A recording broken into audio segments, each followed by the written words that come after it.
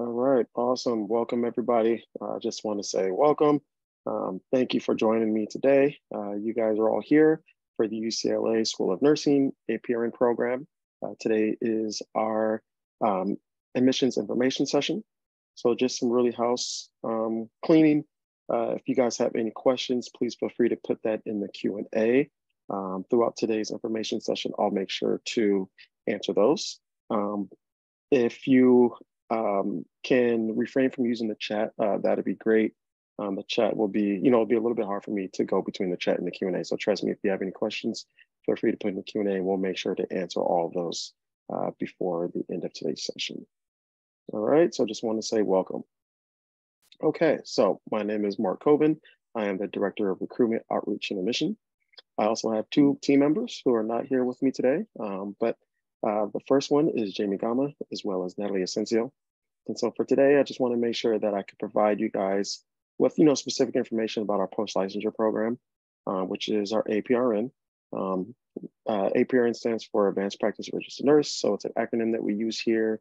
UCLA, we use acronyms pretty much for almost everything. So um, yeah, you would have to get used to saying the APRN program. Okay, so a lot of people are thinking, why UCLA? So before I do that, I do want to make sure that everyone who's joining us today um, has either completed their BSN um, or maybe even in the midst of completing the BSN. So this APRN program is going to be for BSN prepared students or nursing um, students who want to further their education. Um, and so I just want to make sure that that house cleaning part is there. Okay, so a lot of people ask why UCLA? Right? And so sometimes people are like, well, you know, it's UCLA, right? Does it have to sell itself? Um, but there's a lot of things that we do within the School of Nursing that we think makes us really attractive. The first thing is that we're a small community within the big city, right, of Los Angeles. And with that, if you're thinking about, if you guys have been to Westwood, uh, it's its own community within Los Angeles. And so what I mean by that is uh, we have our own uh, police department, which is right there on campus. We have the number one hospital, of course uh, Ronald Reagan, which is right there on campus. Uh, we have uh, transportation services, so we have bus lines that come in and out of Westwood um, that take our students, our graduate students to their grad housing and or all throughout the LA area or West LA area. Uh, also, we have one of the biggest, biggest um, grocery stores uh, that you'll see on the west side as well. Um, if you go into the village um, and around Westwood, there's a lot of places to eat and shop and hang out. And so we think that UCLA is its own community if you're thinking within Los Angeles. But the same thing could be said if we're thinking more on the academic side in terms of the School of Nursing. Uh, we are a small program. Um, we are a small department, I should say, uh, within you know how big UCLA is. In total, in terms of the different programs that we have, we have about five different programs from our undergraduate um, to our graduate programs. And in that, we have a little over 600 students. So we are a small program, but we do offer a lot for our students um, in terms of our resources to name some, but not all, uh, we have our own director of financial aid, which is amazing. Knowing that you won't have to go to upper campus to have, you know, any of your questions answered in the sense of, you know, you being a random student and they're looking up your information, right? Our director of financial aid, she does um, an amazing job of giving, you know, providing financial resources, scholarships, um, there's loans and things like that. And later on in today's info session, she has a recording that I'm going to play for you guys as well. So that's going to be important. But with that, we have a mentorship program, which is really cool. What we do is we match up a first year student uh, with a second year. Um, and it's a really cool thing in terms of, you know, not only are you going to, you know, have an immediate friend while you're into the program, but um, they will give you some ins and outs, right? In terms of maybe passing down some information that's important. If it's books, uh, whatever it is, you really have someone that's going to be there for you throughout your, your two years in the program. Uh, we have specialty coaches we have uh, faculty advisors. We have our own student affairs uh, service um, um, coordinator uh, who goes by Stephanie, who's going to be, you know, your right hand person to make sure that you're matriculating and moving forward as you go throughout the program. Um, we have tons of other things that I can keep going on and on, but we do think it's what makes our students be successful, right? Is we just want to make sure we're giving them as many resources and outlets that they can to be successful. With that, we are lucky I'm honored to be, um, you know, one of the top nursing schools, um, you know, not only, you know, in the state of California, but in the world.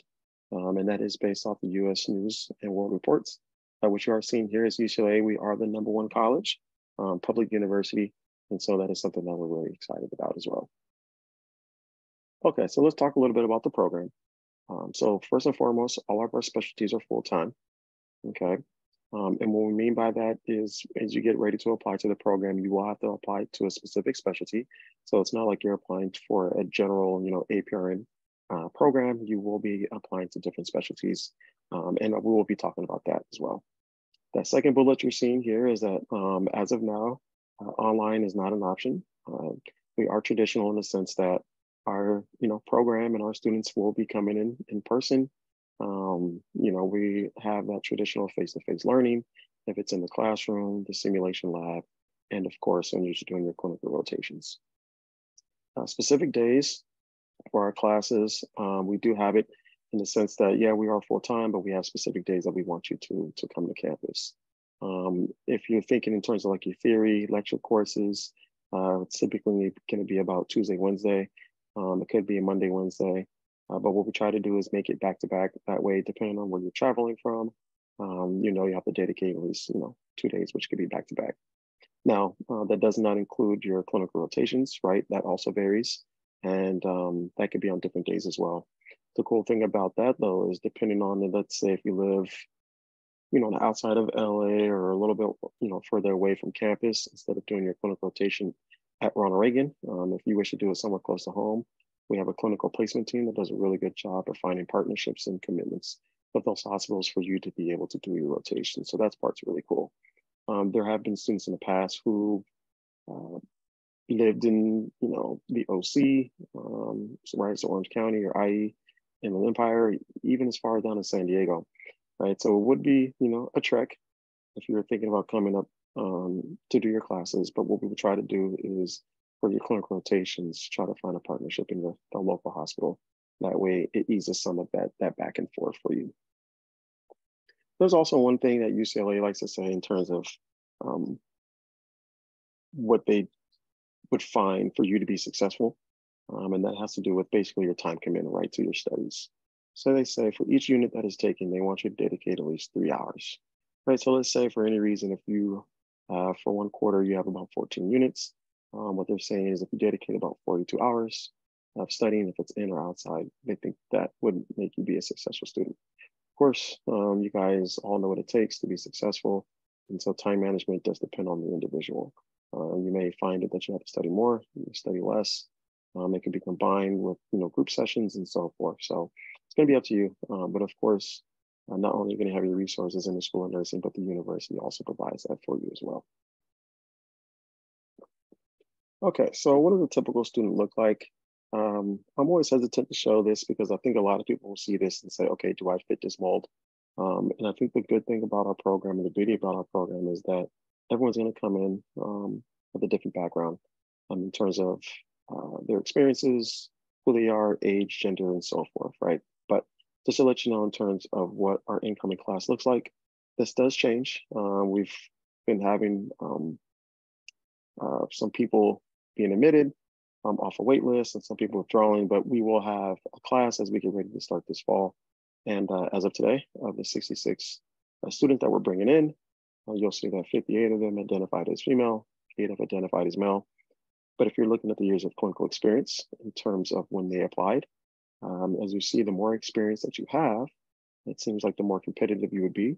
Um, and so, yeah, what you're seeing here is um, obviously, if you have what two to about you know five or more years of experience, um, you're able to really get an understanding of why you want to enter um, an advanced practice role, especially if you're thinking about you know a nurse practitioner, a clinical nurse specialist, or even dual. Um, what you'll see is for those that have less than two years of experience, um, doesn't mean that they're not as competitive, um, but it just means that we're receiving more people's or more applications for people that are um, having more years of experience. So I just want to throw that out there. Um, but of course, you guys all know your own background in terms of how many years of experience you have. And if you feel that it's helped prepared you, right, to apply um, to an advanced practice program. Okay, so let's talk about some of the specialties uh, that we offer. Um, and so the first one is our adult gero acute care. And with it, we offer the CNS, uh, which is clinical nurse specialist, the NP, right, for a nurse practitioner, as well as the dual. Okay, so with that, well, with that specialty, uh, we are looking to bring in a total of 40 students. Um, and so again, even though we offer the CNS, NP, and dual, uh, the mission goal is to bring in 40. Next is gonna be our adult gerontology primary program. And so our goal is to bring in 30. But with that, uh, we would want to, if we can, bring in 20, which are gonna be applying for the adult gerontology uh, primary NP. And for those that are interested in occupational environmental health, we can bring in about 10 students. So 20 plus 10, our goal is to bring in 30. Uh, for our pediatric uh, nurse practitioner uh, primary care program, our goal is to bring in about 22 students. And so we do have kind of subspecialties built within the peds. And so our first one is the pediatric nurse practitioner, dual primary and acute care. We have the pediatric nurse practitioner, uh, clinical nurse specialist, uh, with the dual acute care, CNS. And then we have the pediatrics uh, CNS. Okay, so again, with the goal of bringing in 22. And then last, we have our FNP, the goal of bringing in 40 students. Um, and with the FNP, uh, we do also have the occupational uh, health um, specialty built in within that too. So if you're thinking about doing that, um, our goal is to bring in about 40 students. Over the years, our most competitive specialties have come out to be the family nurse practitioner, as well as our adult gero acute care uh, program. The uh, adult gero primary and the pediatric um, specialties are not as competitive in the sense that we have not been able to meet our target goal, um, but we're hoping to do that uh, this year. Um, but competitively speaking, typically it's our acute care and our family NP. Okay, so let's talk about the dual certification. For anyone that may be interested, right, if you're thinking about combining the CNS with the NP, what you're thinking about is you're going to be doing a little over a thousand hours of your clinical experience. And so basically your CNS portion, uh, it's going to be about 500 plus hours. And knowing that this is a two-year program, um, typically for those that want to do a dual, especially if you're thinking about, you know, adding the CNS, is where you'll be doing that between um, the summer as you finish year one before you enter year two.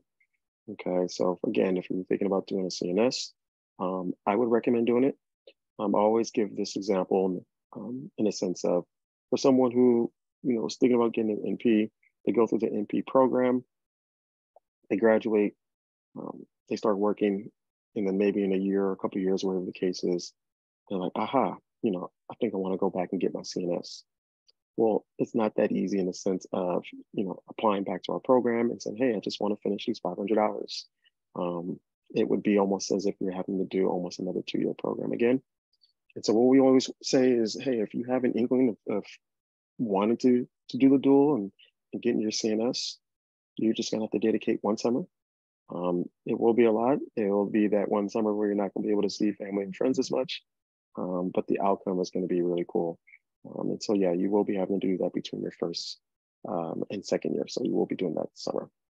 If we're gonna look at the specialties that do offer the dual certification, again, you're gonna see it's the adult gero acute care, right? So the CNSNP, the pediatric uh, nurse practitioner, uh, dual primary acute care, um, as well as um, the uh, dual acute care CNS um, uh, program as well.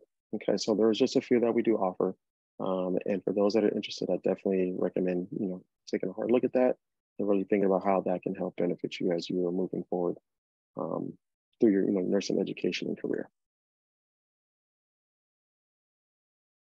Okay, so some you know kind of some additional insights, some some Q and A's that people typically will ask um, is what is the minimum GPA? Uh, so that will be a 3.0 that is um, required by UCLA Graduate Division is that the individual apply that they have a minimum GPA from the undergraduate work. Now, if you do not have a, uh, a minimum GPA of a 3.0, it does not automatically you know, mean that you're going to be denied from the university or the program. Um, it is up to us in the admissions office um, and to our faculty who admit the student uh, to write a justification to grad division saying, hey, we still think you're a stellar student with the potential of success, even if your GPA is under 3.0. There may be some people who also have maybe two degrees. Um, so this is the case sometimes where someone's first undergraduate degree was in a non uh, nursing background, um, and then you've maybe completed an accelerated BSN, um, that, that's okay. The university um, will ask for at least one of your undergraduate degrees to be a 3.0 uh, minimum. In the School of Nursing, if for any reason you do have two bachelor's degrees, we will look at the uh, BSN. Uh, so that's how we do our uh, evaluation. Okay, so how much can I work? Um, it's a really good question. Uh, knowing that this is a full-time program, our faculty don't recommend working full-time, right? Knowing just you know, the intensity of the program, the commitment, and how much it asks from you. Uh, we do recommend if you have to work uh, that it be part-time per diem, knowing that you're going to have to schedule your work schedule around right your uh, school schedule. Again, knowing that you know the days of the classes are typically going to be set, as well as the times. You may have to, uh, you know, find you know work on the weekends and maybe some night shifts and things like that. So you do get your schedule ahead of time, and so hopefully you'll be able to implement the work uh, when it comes to that as well. All right, how often do I have to come to UCLA?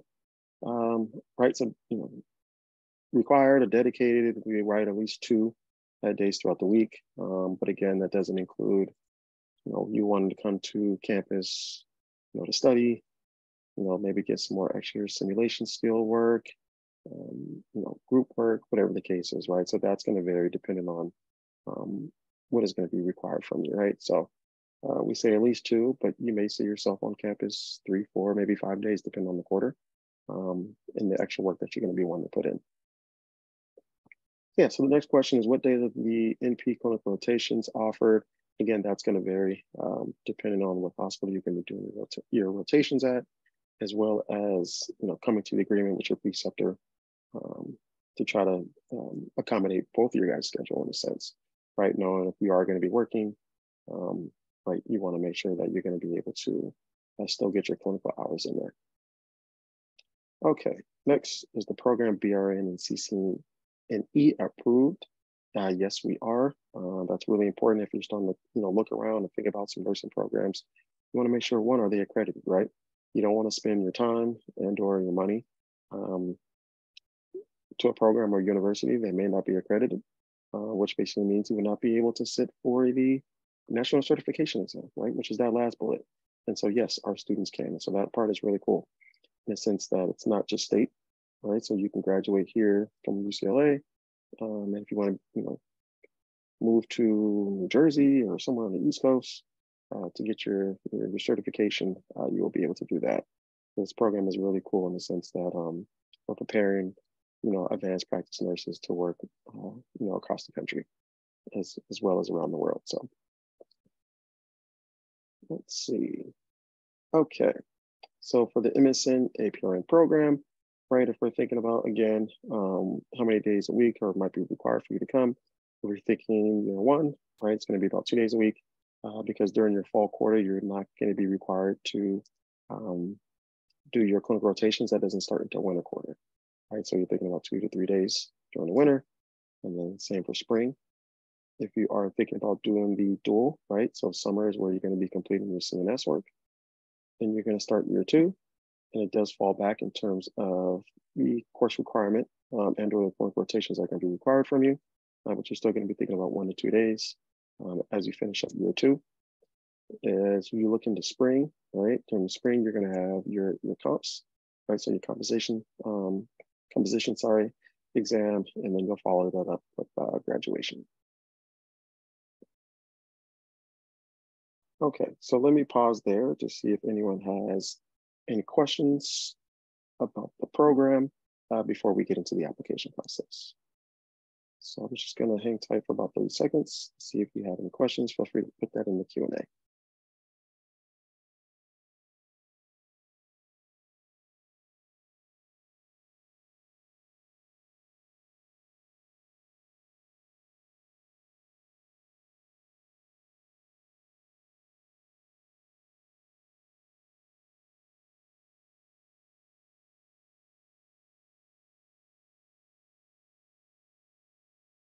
Okay, all right. So let's keep moving forward and we're gonna talk about the application process. Okay, so, um, oh, aha, okay, I see a question coming in. All right, someone is asking, are there times when you have to do more than one day of clinicals? Um, yeah, there could be. Um, there could be an instance where you'll um, have to do more than one day of clinicals. Um, that could be for any reason if you did fall behind on your hours, knowing that there are a certain amount of hours that you'll have to do per um, quarter. Um, and if and or if you're thinking about doing the CNS, right, knowing that you're gonna have to get those 500 hours, uh, there could be times where you're gonna have to do more um, than one day of clinical. So that will be determined um, by our program director, who you'll be working with, um, your faculty advisor, as well as your, your uh, clinical preceptor. Um, so they'll make sure to ensure that you obviously will, will be completing all your hours um, and to try to do that in a timely manner. Okay. Let's see. Got some good questions here. Okay. Someone is also asking, uh, is there accommodation for pregnant students during the program? Uh, yes, that's a really good question. Uh, we actually have two uh, students that are entering this fall um, that have reached out to us and said that they're pregnant. Um, and so we're obviously super excited for them. Um, and so we do host accommodations for uh, students, um, of course, that are pregnant. Um, that may happen before they start the program or even while you're in it. So we have tons of, of resources um, to make sure that you know you continue being a student if that's what you choose to make sure that you'll still be successful. So yes, we definitely do that. And if we, or if I were to continue, you know, kind of piggybacking off of that, uh, we have resources uh, for students, and we even have, you know, disabilities, wherever the case is. So uh, we we have a, a full um, gamut of resources to make sure that you know whatever type of student we have that's going to be entering with us, um, that they will be um, having everything they need to be successful. Okay, let's see. Okay, yeah, here's another good question. Are there additional courses besides uh, during the school year uh, for the dual program besides the, the clinicals? Um, and so, uh, yes, there is. Um, you will be, uh, during that summer, be taking some CNS coursework as well.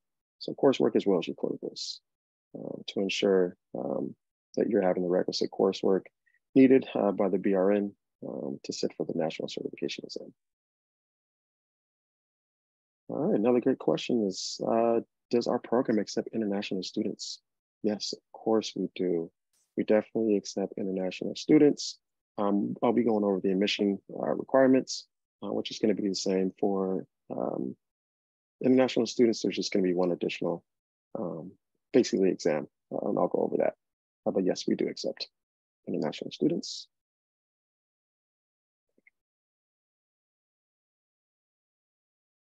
Let's see. Ah, will the school help find clinical placements? Yes. So I think that's really important, right? If you're if you're thinking about, you know, not only UCLA but other, um, you know, uh, nursing programs, is uh, do they help with the clinical placements? Um, so yeah, it's really important, right? Because there are some schools out there where uh, you'll have to be the one that finds the clinical placements, and um, I'm not sure if you heard those horror stories, but it's really difficult. And so, you know, we have our own clinical placement team here in the School of Nursing uh, that does all that for you. So that's one less stress and one less headache to think about. So yes, we do have that. Okay.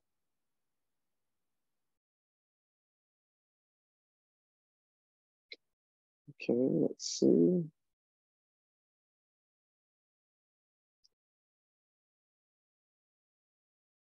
Um, okay. So someone's asking if accepted um, for the next cohort, can you delay your start? Unfortunately, not. So in a sense, um, you're referring to deferment. So for students that are admitted into the program, they cannot defer their admission for the following year. So you really have to think about if the year of 2024 is the year you want to start, um, that you'll definitely want to apply for that. If for any reason you feel like you may not be ready for fall 2024, and you would potentially want to wait for um, you know fall 2025. Now things can happen, right? As you are applying for you know fall 2024, you're ready to go, and if for any reason you know situation comes up, you know, it could be personal, family, finances, wherever the case is. Um, that does happen, um, but unfortunately, uh, the university does not allow students to defer, um, and so that has been the case for you know some, a couple of students are admitted for this fall 2023. Um, and so the university is no longer allowing deferment. Okay, are there uh, on-campus accommodations for students following the grad program? Yes. Yes, so the university has graduate and undergraduate um, resources and accommodations. Um, and so uh, our grad students um, are privy to that information. Um, so yes, depending on whatever you're looking for in terms of the accommodation, of course, here in the School of Nursing, we'll try to do that first. And then if not, we go to the campus resources. Okay, let's see.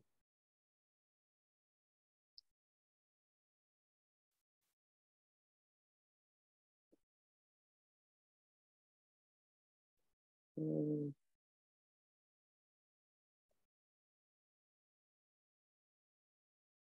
uh, let's see. Okay, um, let's see here. Okay, so someone's saying this is not a ELM. Yeah, this is not an entry level master's program. Um, so thank you for for asking that. We do have an entry level master's program, but that is separate. So this program that I'm going over today uh, is going to be for those that have a BSN. So you do need your BSN. Um, for anyone that is um, thinking about our master's entry program, we do have that. Uh, please check out our website. We do have separate information sessions for that as well.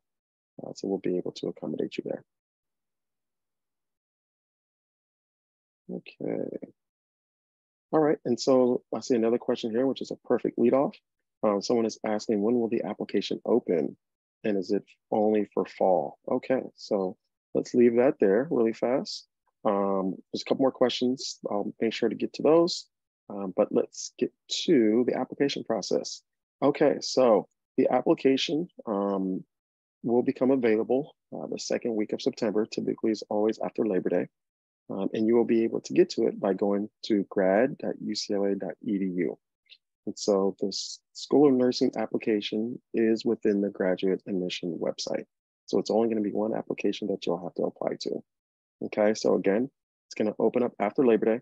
If you were to, for any reason to go onto the website now, um, you will be looking at last year's website. So for anyone who may have started, I would recommend holding off because the university is going to take down the application uh, for about a couple weeks uh, to, to get it ready and prepared for uh, the fall 2024 admission cycle. So please hang on tight. I would wait um, until after Labor Day, typically about the second week of September, for the application to become available uh, at www.grad.ucla.edu. Okay, so um, what you'll be seeing is once you start your application, it's going to say, hey, what are your plans for graduate study? and there's going to be an application type. So there's going to be new, readmission, and renewal. Um, everyone here might be applying as a new applicant. And so that basically means this is your first time applying to the university, or maybe you're reapplying um, for any reason. Maybe if you weren't accepted, you know, the previous year, uh, you'll still be a, a, uh, a new application type. Um, readmission um, is for anyone who um, might have been admitted into the university um, uh, but uh, did not start. Uh, renewal is going to be for someone who already has a graduate degree here at UCLA, um, it, and it could be, you know, a grad degree in maybe public health or whatever the case is, and you're going for another grad degree. And so that's what the renewal is. The most important thing though is that it's going to be the major program. And so as you're going in there, you want to make sure that you're going to be selecting nursing, uh, MSN, APRN. Okay, we do have other grad programs. Um, so we have the Nursing MSN Master's Entry Program, which I was speaking to a little bit about earlier. And then we have two, two doctoral programs. So we have our DNP and our PhD. So this is important in, in terms of making sure that you're selecting the right major program, because then it will then trigger the correct application for you to continue applying. Okay, so let's talk about some of the nursing specializations. Again, uh, we went over those. And so what you'll be doing is once you select nursing MSN, uh, APRN, it's then going to ask you to select the uh, specialty of your choice. And as you guys remember, probably one of the first things I said during today's info session is that you do have to select one of the specialties. So you would, um, there's, you know, unfortunately, you would not be able to select multiple. So at the time of application, you would have to know um, what specialty you want to apply for and which one you want to get into. Um, if there are, for any reason, you apply, and you're admitted into a specialty, but you are thinking about maybe switching it, uh, you can potentially have that possibility to switch before the program starts. But once you're in the program, unfortunately, you will not be able to start. Okay, so just taking a look at that. And so what you'll do is you'll be able to select from the drop down the specialty of your choice. Okay, so for the transcripts, oh, and put too many S's there, but for the transcripts, uh, what we are gonna be asking uh, for you to do is um, upload your unofficial transcripts if you can in chronological order from basically the highest education um, received, okay? And so basically that could be your undergraduate degrees or degree. Um, you're gonna wanna implement that there. There is hopefully a section in the application where it you'll start typing it in and it'll look it up and then it'll have a drop down, you'll be able to select it um, and then go from there. And then what you'll be able to do is upload your unofficial transcripts.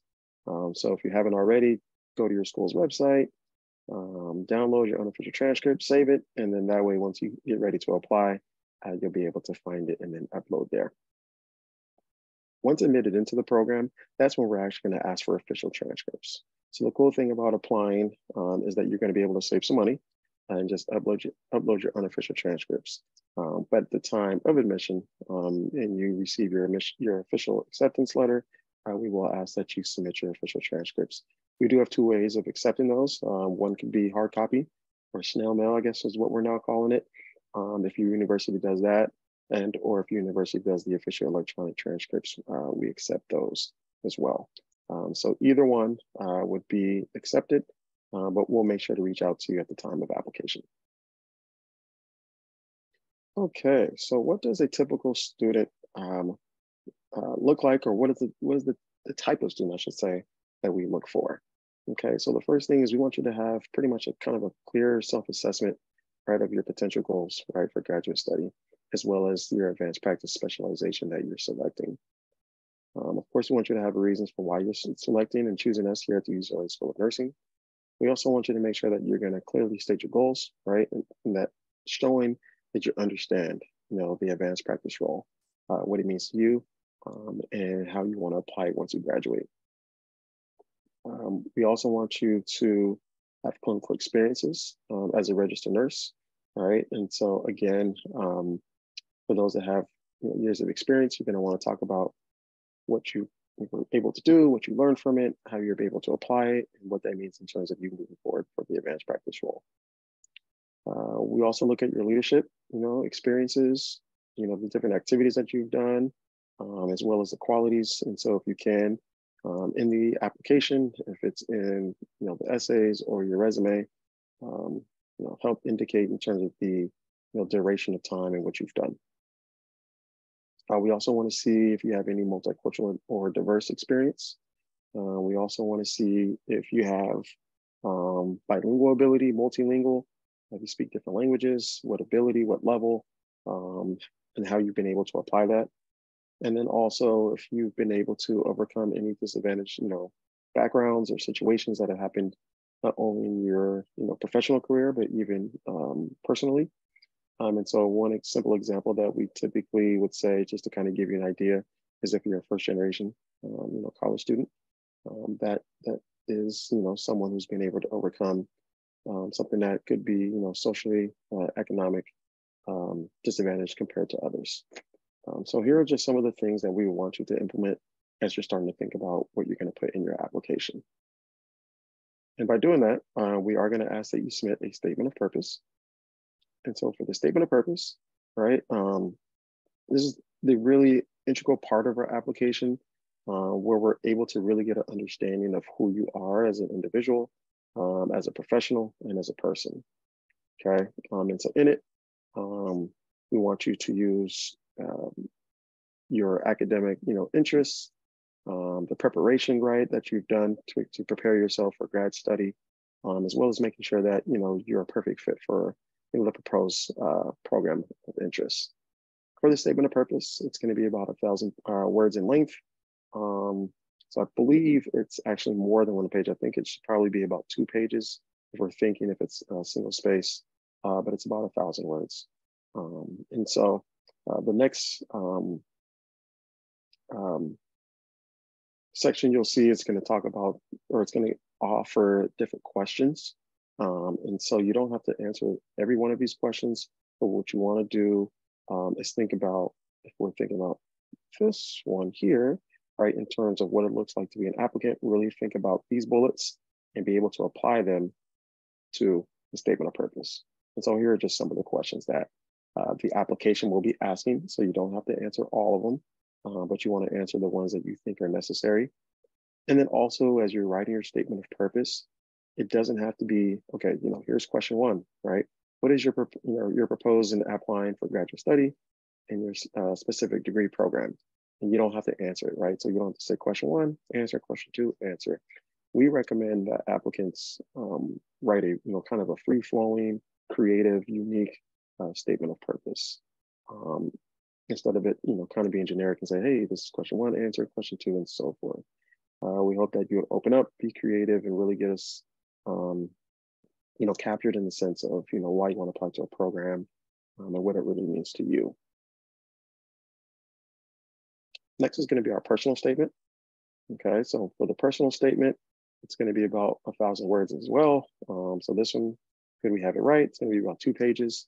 But the statement of purpose should not be duplicated, right, in terms of what the statement of purpose is. The personal statement is where we really want you to talk about your own background, your accomplishments and life experiences that you think have helped prepared you for graduate study. Okay, and so that can be personal, as you're seeing cultural, economic, social experiences, challenge, and opportunities that are relevant to your academic journey. Right, so this is where you're going to be able to talk about the aspects of your personal background, right, in terms of those accomplishments um, and what that means. Also be able to talk about your contributions to diversity, um, right? And um, what you also plan on doing even after graduating. What communities do you want to work in? What communities do you want to serve?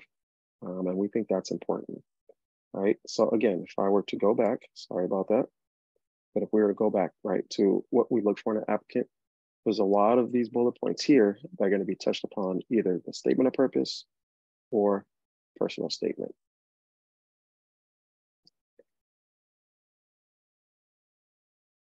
Okay, let's see. Okay, so for the resume and for the or CV, um, what we want you to do um, is highlight your educational experiences, right, including your honors received, work experience, volunteer experience, and any professional organization um, or associations that you belong to. Definitely put it in a chronological order. You guys have all done resumes before. Um, but for us, it can exceed one page, right? Typically, a work resume, you know, you have to fit it all in one page. Um, but for us, it can exceed one page. Typically, applicants are submitting about two, maybe even three pages, uh, you know, for their resume. Um, but in it, we just think it's vital, right? Because um, the application readers are going to be looking at your resume to really understand um, the other accomplishments um, that you've done in terms of, you know, leadership, you know, employment, community service, volunteering, things that you may not have put in either your statement of purpose or your personal statement, they will refer to your resume. So the resume is just another way um, of being able to provide another outlook in terms of who you are um, uh, personally and professionally. All right, and then last we will ask for three letters of recommendations. Um, and so three are gonna be required. As you enter the application, uh, there's a section where you'll be able to enter your recommender's name, um, email address. And uh, once you do that, they are able to um, receive the electronic form. Okay, so once you fill out their information, you press the add button. Uh, they should immediately, right within a few minutes, uh, receive an email from UCLA Graduate Division saying, "Hey, you've been you know, recommended to write, you know, a recommendation letter for person A or person B or whatever the case is." Of that, um, of the three that you will be selecting and choosing, we hope that um, one would be a current employer, so that is highly recommended. There are instances where um, a employer um, may not share maybe the same um, educational journeys or career path as you, right? And uh, you know they may not want you to advance uh, maybe as quickly as you may think, and so they may not um, be someone that may write you a good letter recommendation. Uh, if that's the case, uh, we definitely would not want you to have them write one. So if you have maybe a past employer, they can do that. Or let's just say maybe you switch positions or you know been hired to a new hospital, um, and you haven't been there long enough to build kind of that rapport with that uh, employer. if that's the case, then you can also go back to a past employer. But for those who may be working at, their current hospital for a while, we do ask that it be a current employer. Um, and that uh, with that, um, hopefully one of them will be a nursing supervisor, right? And so one thing that we really don't want is, of course, no family or friends. Um, and then also if there was someone who may be a nurse uh, who has um, uh, a lateral kind of position to you, right? So we don't want someone who's in the same position as you to write a letter of recommendation. So we are asking it to be an employer or a, nurse, a nursing supervisor that will be able to talk about your skills, um, your abilities, and the future success uh, while you're in our advanced practice program. Okay, before I get to the prerequisites, I'm gonna do a quick pause because I do see that there are some questions. So I'm gonna pause here and see if I can answer some of those for you. Okay, another really good question says, does our program accept uh, DACA um, and or undocumented students? Yes, we do. So we do accept uh, DACA and undocumented students into our program. We have in the past, and they've been successful, graduating and so forth. So yes, we do. All right, someone is asking about our DNP program. Uh, is there a BS in the DNP direct program? Um, we do not, as of today, have a direct BS in the DNP program, uh, but that is in the works. Um, we're actually going through the different steps uh, through the university um, and grad division to get that approved. Uh, so our goal is to have that available for uh, 2025. Uh, so that is our goal. As of now, um, our DNP program is MSN. So it's uh, you know what we consider self-supporting postmasters at in the DNP program. Uh, but within the next uh, year or two, we will have our BS in the DNP program available. Okay, here's another good question. Is it required to have clinical experience as an RN?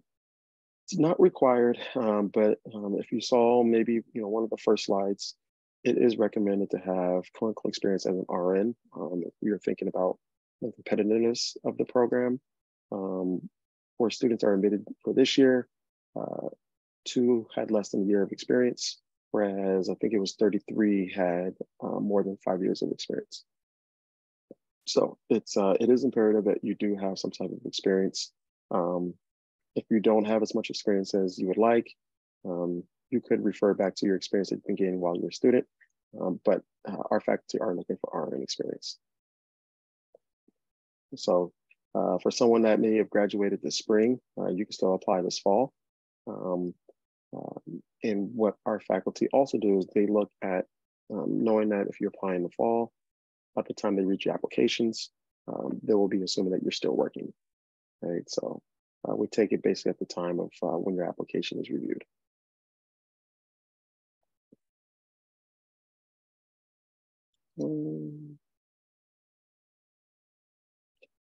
Okay, so just so someone's asking, uh, okay, so since the program, since it's an online program, will there be opportunities to meet my cohort? Do we meet in person?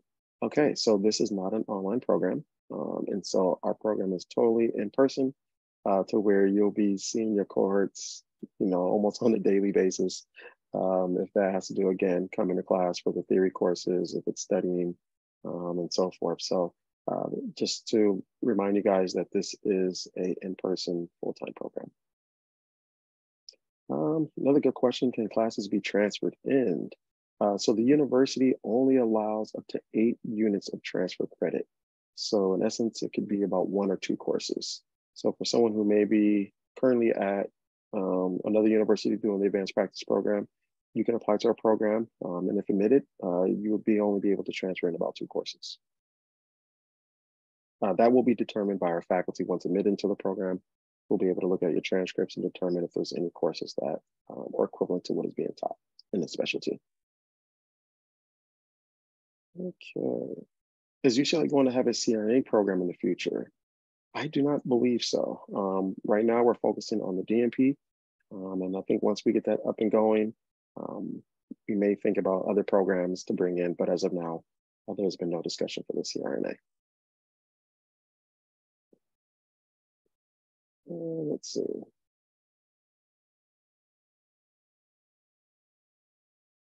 All right, for people who are just beginning to work as an RN and cannot get a recommendation letter uh, from the nursing supervisor by the time of application, uh, then can the letters come from others like professional, like professors and clinical instructors?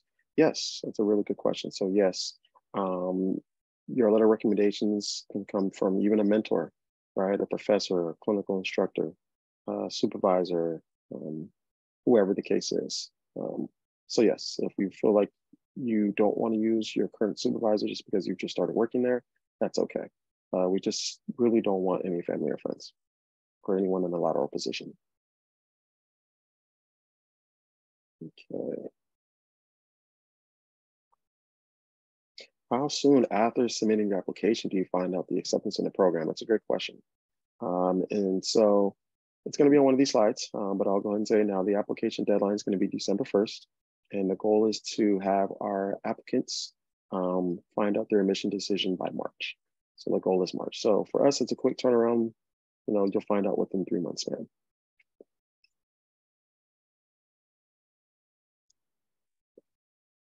Okay. Okay, so someone is asking, does the program honor UC tuition discount if you're currently working for a, in the in the UC system? So yes, um, if you work in the UC system, um, I believe you have to maintain at least you know 50%, and you'll be eligible for the uh, tuition reduction. And I believe it's about two thirds, so it's about 66, 67% off the tuition, which is really cool. So we do have students that do take advantage of that that work in the UC system. Okay, if we use AP classes to meet our BSN requirements, can that be used for the MSN program too? So yes, we do accept AP um, credit, but we only um, would allow one course of AP uh, of the AP, AP score to be used for the prerequisite. So um, you wouldn't be able to use more than one AP score uh, for the four prerequisites that you're seeing here. Okay, another good question. And yeah, so this will lead me into um, talking about the supplemental application in terms of the prereqs. Um, so someone is asking, uh, can you apply and um, take the physical assessment course after being admitted? So the answer is yes. So That's a really good question. So let's go into that. Um, of the four prerequisites, or of the prerequisites required uh, for admission to the program, there's going to be four. Uh, so there's going to be human physiology, which we're asking for it to be done within the last five years, right? So we're thinking 2019 or more recent. There's nursing research, right, at the BS level. Uh, there's going to be statistics, and then there's going to be the physical assessment, uh, which we're asking for it to be within the three years or more recent, as well as um, it having to come from one of our approved course listings. So of the two prerequisites that have a time limit, which is human physiology and physical assessment, we actually do offer both of these classes for our admitted student to take during the summer.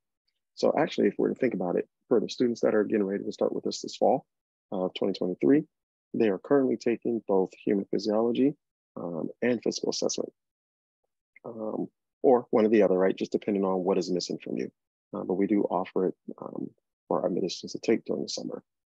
Typically, in your in your BSN program, um, you have you will have completed the nursing research and a statistics course, and because those have a, don't have a time limit, um, those are the, typically the two courses um, that are completed that someone doesn't have to, to retake if it's outside uh, of the time limits.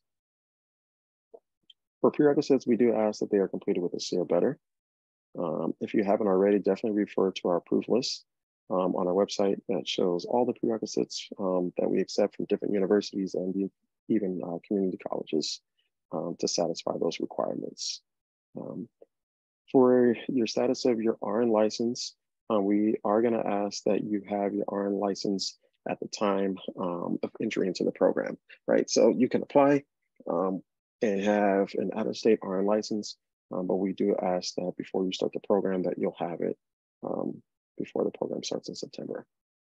So for anyone that may be out of state and um, you know are going to be re relocating to California, if you want to get a head start, I recommend doing that now um, because the California Board of Registered Nursing can be pretty slow.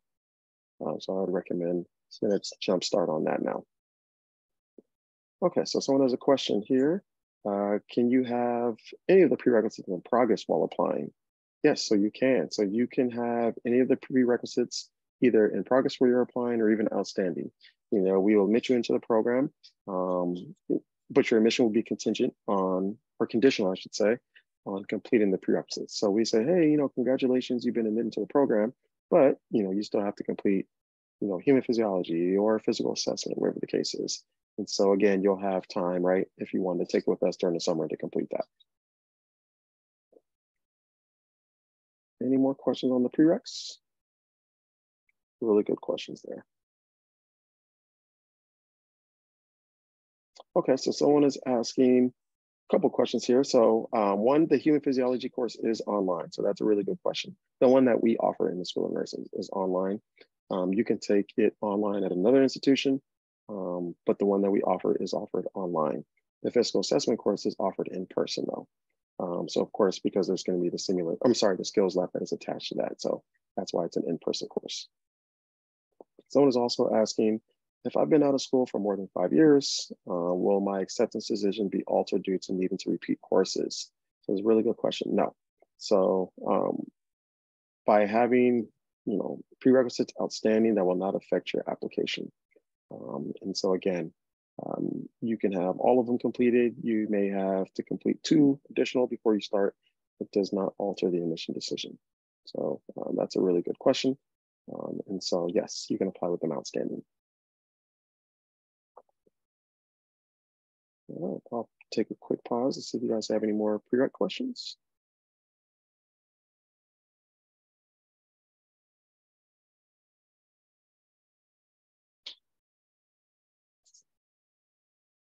Okay, let's keep moving. Okay, so I know someone had mentioned, um, do we admit, admit, international applicants? So yes, of course we do. Um, on top of doing the statement of purpose, personal statement, letters of rec, um, completing the prereqs, we do ask that international applicants who do not have a um, degree here in the States, they are gonna be required by the university to take the TOEFL and or the IELTS, right? So for the TOEFL exam, we're gonna ask that it be 87 or higher, um, as well as for the IELTS, it'll be seven or higher.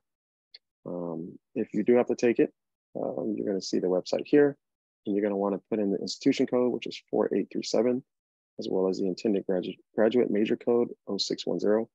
So basically what you do is when you put that in there, after you take the test, the university will receive the results. It's a lot easier for us to get the results um, as long as you put the institution code and the intended graduate major code. All right, last but not least, as I stated before, the application is going to be due December 1st. And then um, we actually, what we do is we we allow your recommenders um, an additional, what, about month and a half uh, to submit, uh, which is going to be January 15th. Um, that can also be maybe any other thing that may be missing from your application. Uh, we will be in contact with you throughout the duration of the application. Say, hey, thank you for applying, um, but you may have missed something. Um, and what we do is we give you, you know, ample um, time uh, to get that in. So we want to make sure that the application is submitted by December 1st, um, and then you'll have until January 15th to submit anything else. Um, really fast, our application is on Eastern Standard Time. Um, so don't be alarmed if it's December 1st and you apply at 11, you know, 50 p.m. And it says, hey, congratulations. You know, you, you've applied, but it's, you know, timestamp December 2nd. Uh, that's okay. Uh, we know that happens sometimes, but as long as it's submitted um, before the second, right? So 11:59, December 1st, we're good to go. Okay. All right, so let's see if there's any more questions before we get to the financial aid section. Okay, let's see here. All right, so uh, since this is an MSN program, we're hoping to complete the DNP program in the future at UCLA. Uh, can we apply for that while we're in the MSN program to bridge directly into the DNP program? Or we have to completely, or we have to be basically complete the program and then apply before? That's a good question. Um, in essence, you could apply your second year um, to enter into the DNP program, but it's not necessarily a direct bridge. Um, it's just, you know, you, you know, knowing that you're going to complete your program a year or two and then applying directly into the DNP program. You could do that in essence. We've had someone who've completed our master's entry program Um, and during year two, she applied to our PhD program. And so um, once she finished the MECN program, uh, she started a couple months later into the PhD. So uh, that is a possibility. So you could do that.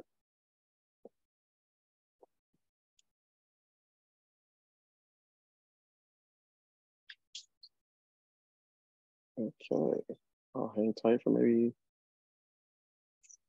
30 more seconds, and then I'm going to play the financial aid video from our director of financial aid.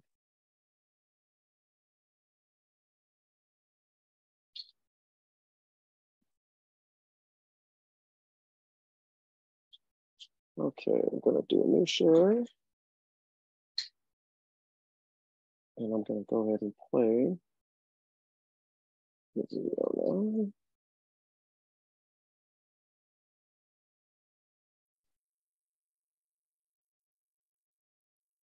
Okay, I'm gonna press play and hopefully you guys should be able to hear this. Please put something in the chat or maybe the Q&A for any reason you're unable to hear. Here we go. Hi, everyone. My name is Leonie. I'm the Director of Financial Aid at the School of Nursing. Welcome to our information session. I'm so glad you have joined us. In this presentation, I will be sharing an overview of financial aid at the School of Nursing. But if you have any specific questions, please feel free to reach out to us at financialaid at sonnet.ucla.edu. In this session, we'll be going over a few topics, including how to apply for financial aid, annual student fees and the cost of attendance for your program, how to fund your education, and important dates to keep in mind. To begin the process of applying for financial aid, you will need to complete a financial aid application. To know which application to complete, you can reference the information in the table on the right. Most students complete the free application for federal student aid, or FAFSA for short. Students that are not eligible for federal aid can apply for state aid through the California DREAM Act application.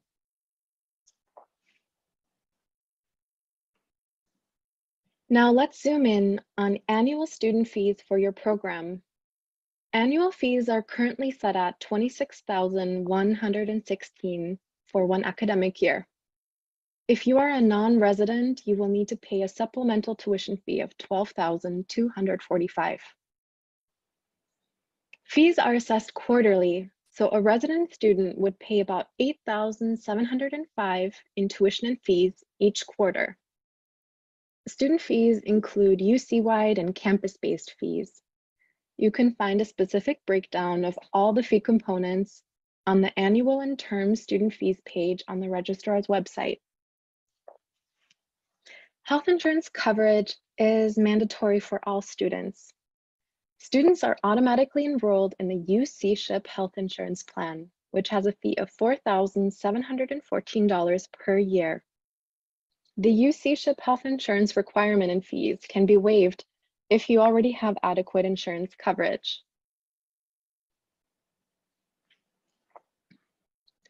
The cost of attendance, or COA for short, is an allowance based on the educational expenses that students might incur. So the COA includes direct and indirect costs, and it's also the maximum amount of financial aid students can receive during an enrollment period. You will see in the pie chart the different components of the cost of attendance.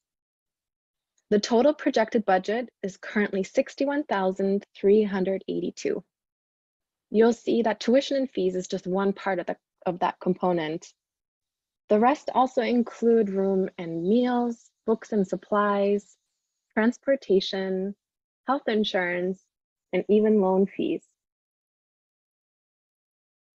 So students can fund their education in a combination of ways, through scholarships, loans, and working at UCLA. Grants or scholarships is gift aid that you won't have to pay back. And those include fellowships through the graduate division, which you can apply to on your application for admissions. And all students who submit a financial aid application and a School of Nursing scholarship application will receive some sort of scholarship funding. That can include scholarships that are based on your program or interests, need-based scholarships like the Adrienne H. Mosley Scholarship or HRSA Scholarship for Disadvantaged Students. We also have merit scholarships. And we always encourage students to expand their scholarship search and look for outside scholarships. Loans is borrowed money that you will need to pay back. This includes direct unsubsidized loan, which can be offered up to $20,500 per academic year, a direct graduate plus loan, which is based on um, ha students having adequate credit, the DREAM loan for our DREAM Act application students up to $4,000 annually, Nursing students also qualify for a nursing student loan, and there are also a lot of private loan options. Lastly, some students choose to work at UCLA. So this requires, of course, that you work and you earn money or employer-paid benefits. So either you can qualify for federal work study and be a work study student somewhere on campus. There's also um, academic apprenticeships where you can qualify for fee remissions, and UC employees. So eligible regular status UC employees can qualify for a two-thirds tuition reduction in the student services and tuition fees. Now, before we end our presentations, I want to highlight some important dates. Each year on October 1st, the financial aid applications open. On November 1st is the deadline to apply for fellowships through the graduate division. March 2nd is the financial aid application priority deadline. So you want to make sure to submit your FAFSA or DREAM application by this date. In May, typically our School of Nursing scholarship application opens, and this is shared with students after they are admitted and in June is when our scholarship application deadline is set. You can find more information about financial aid at the School of Nursing on our website at nursing.ucla.edu slash financial aid, or feel free to email me your specific questions at financialaid at sonnet.ucla.edu. Thanks for listening. All right. Let's get back to the PowerPoint. Okay, so I hope you guys were able to get some really good information from Leonie. Again, she's our wonderful Director of Financial Aid. Um, and uh, for our students um, that enter the university in the School of Nursing, uh, for those that apply for FAFSA and submit paperwork and information, uh, majority of our students are able to receive, receive some type of funding. Um, so that is really important is to ensure that our students are going to be successful, stress-free, you know, as you're thinking about tuition um, requirements and everything else that comes um, about from the program. So um, I want you guys to know that uh, the A team, right, is what we call ourselves. We are going to be in charge of processing the application. Um, and you're going to be meeting myself. Uh, here's Jamie Gama, as well as Natalie Asensio. Um, and so you'll make we'll make sure that once you submit your application, you'll be you know hearing from us throughout the application process. Again, to say, hey, thanks for applying. The application is complete. You're good to go. You know, and or hey, you're missing some things, um, and you have until January 15th to submit. Um, we do our best to ensure that you guys feel comfortable throughout the application process, um, and just you know making sure that uh, when March comes around, um, that uh, you'll be getting everything that you need from us. Um, and so I just want to say thank you guys um, really fast as we're talking about the transcripts. Again, you'll be submitting unofficial transcripts at the time of application, but once you're admitted into the program, we're going to say, hey, uh, submit your official transcripts if your university offers them electronically. You're going to see our, our website, I'm sorry, our uh, email address here, which is admission.sonnet, which is S-O-N-N-E-T ucla.edu and or if they uh, send it you know through the mail um, here's our address here. Again, you don't have to worry about this, uh, but for anyone that maybe wanting to get a head start, feel free to screenshot this Um, and now once you receive your admission decision, uh, you'll be able to have your, you know, the opportunity of submitting your transcripts. All right, and so with that, um, it concludes uh, today's information session. Uh, we really hope that this helped provide some information that you need to complete a successful application. Um, we're excited. Um, I'm really excited to know that you guys took some time out of your day today to help answer uh, maybe any you know questions, concerns that you may have about the program, but also ultimately just hopefully providing some excitement. Um, so I just want to say thank you for that. Um, feel free to scan this QR code if you want to provide some feedback. Uh, but what I'm going to do in the meantime is I'm just going to hang tight to see if you guys have any questions. Um, and since we're, you know, we're ending, you know, pretty early, I'm going to stay tight for a little bit and maybe help answer any questions for you guys. Uh, but again, just want to say thank you.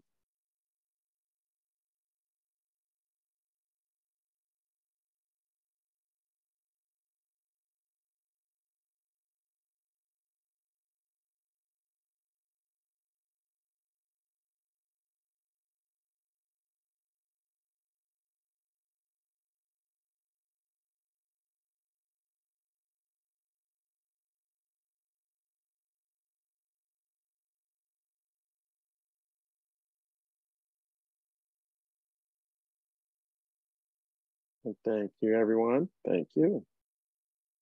So don't be shy. If you have any questions, feel free to put that in the Q&A. I'll hang tight for a little bit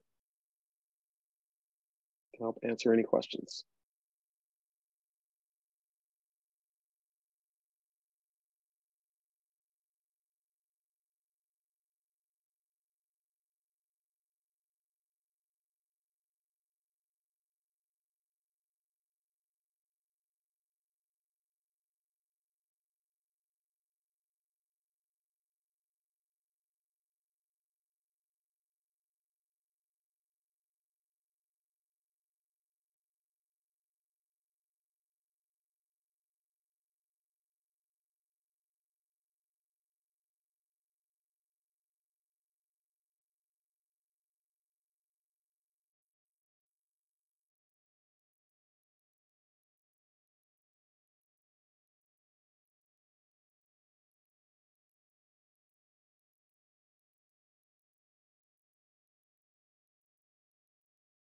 Okay, someone is asking, have I had the chance to follow up on the graduate's employment status?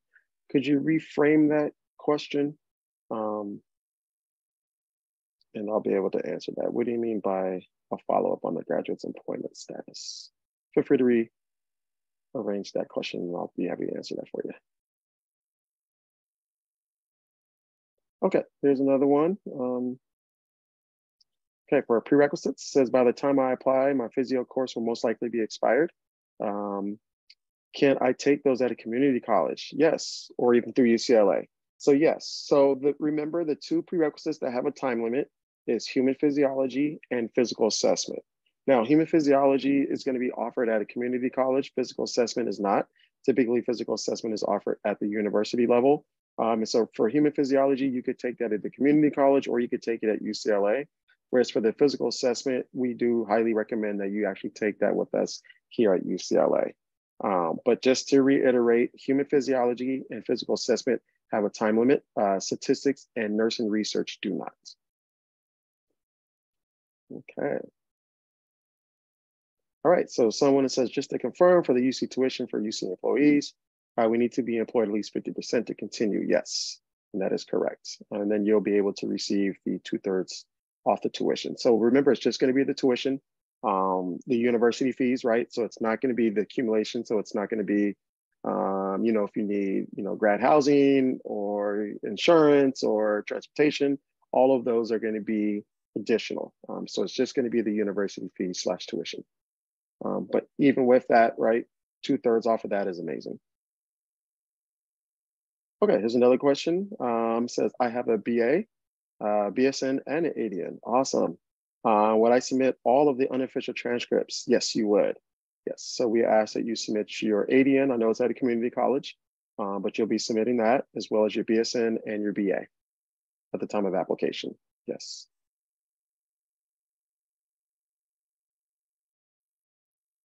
Oh, okay. Thank you for re for restating that question. So um, has there been anyone who graduated from our program able to find a job? So yeah, yeah, most of our students are able to find employment, um, you know, as an NP or as a CNS, depending on, you know, what specialty um, and certification that they went for.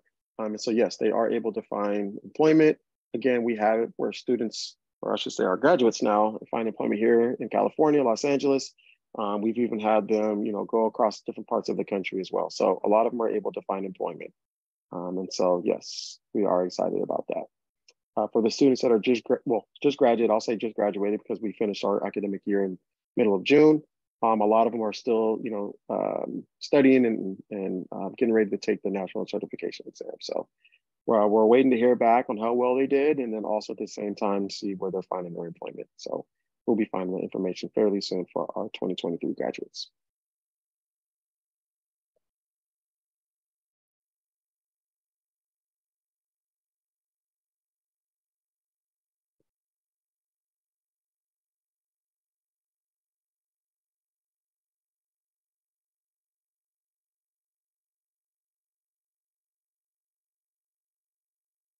All right, I'm gonna wait maybe a couple more minutes. Let's see if you guys have any other questions.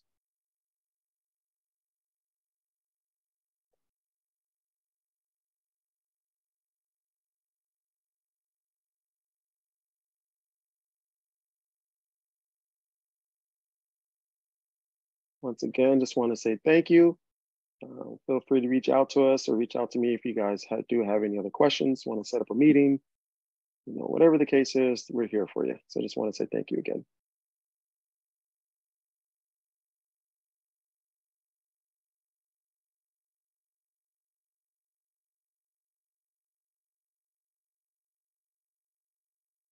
All right, well, without further ado, I see some people starting to log off. So I'll go ahead and do the same. Just want to say thank you guys again and hope to be hearing um, and seeing you guys in the future. Thanks again.